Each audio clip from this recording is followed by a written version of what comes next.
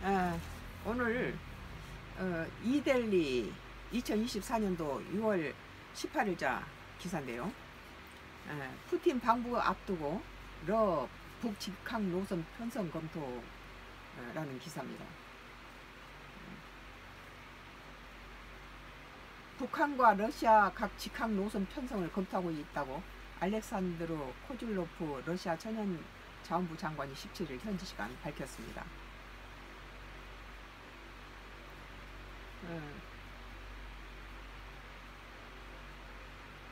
러시아 타스 통신에 따르면 어, 코줄로프 장관은 우리는 북측과 만나 해당 사안에 대해 논의했다면서 남서 어, 시베리아에 있는 노보시비르스크와 모스크바 평양을 잇는 어, 항호편 편성을 검토하고 있다고 말했습니다.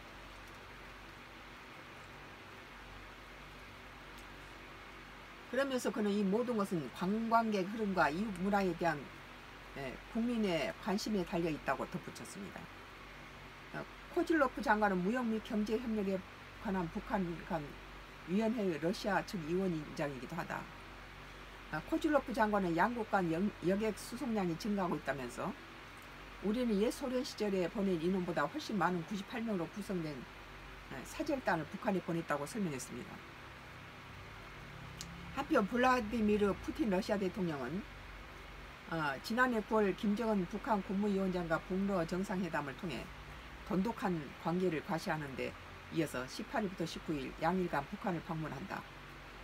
푸틴 대통령의 북한 방문은 24년 만으로 크렘린국은 푸틴 대통령이 이번 북한 방문에서 북한과 러시아 간 포괄적 전략 동방자 협정을 체결할 가능성을 시사했습니다.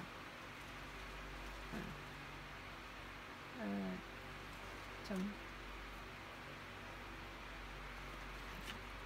에, 나의 정치적 코멘트로는 에, 러시아 푸틴이 우크라이나의 에, 에, 전쟁 러, 러시아와 우크라이나 전쟁 상태에서 북한의 필요성이 절실하며 북한도 이득이 되는 오래된 군사 물자를 러시아와 전쟁터에 팔아먹는 것이 나쁘지 않고 어려운 북한의 경제 상황에서 어, 북러 교류는 양국 간의 필요 조건이 맞아떨어졌습니다.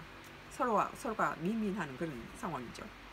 러시아의 북한의 직항 노선이 검토되고 있다는 것은 에, 있다고 한 것은 어, 러시아에게 북한은 매우 중요한 파트너로 부상되고 있다는 것을 의미합니다. 이데일리 2024년도 6월 18일자 기사 푸틴 방문 앞두고 러북 직항 노선 편성 검토라는 기사에 대해서 나의 정치적 코멘트를 했습니다.